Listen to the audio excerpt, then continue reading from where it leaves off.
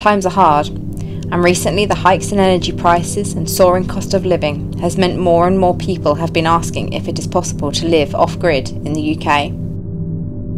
My husband Fraser and I have been living off grid in Lincolnshire for over five years, and we now share this life with our daughter Grace and our son Albie. This is the story of our off grid journey so far.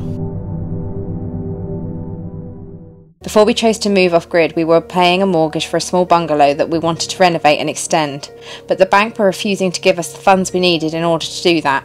We were both working five days a week, were tired, stressed, and frustrated. We felt trapped. Fraser had bought a piece of land before we met, which he had used as a yard for his tree surgery business, and had grown from an empty field to a young woodland. We knew we couldn't make the most of either the house or the land whilst we had both, and with over 3,000 trees and hours of labour invested into the land, it was obvious what we had to do.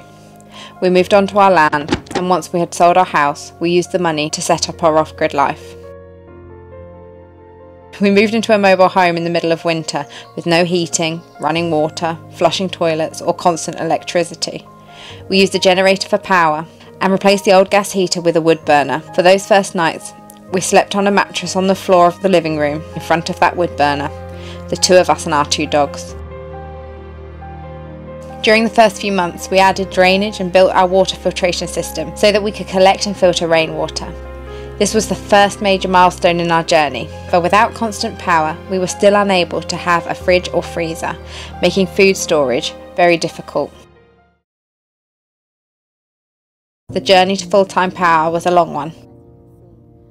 This was partly due to the fact that we built an oak framed barn to hold the solar panels, which took approximately a year to build, as we built it ourselves and were still working full time. Once the barn was completed, we were able to turn our attention to our solar power system. It took months of research and weeks to install, but eventually we completed it and were able to have full time power.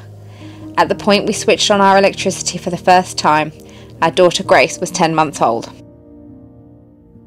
we decided to turn our attention to food production. We bought and built a polytunnel, which we kitted out with raised beds and planted immediately in order to reduce our food bills and increase our self sufficiency. We completed the polytunnel just as our son Albie was born. The polytunnel is still very much a learning curve, but growing and eating our own food has brought us an element of enjoyment to this off grid life, which had previously been lacking. Whilst our water filtration system has served us well, we still find our demand for water outstrips supply and that we run out.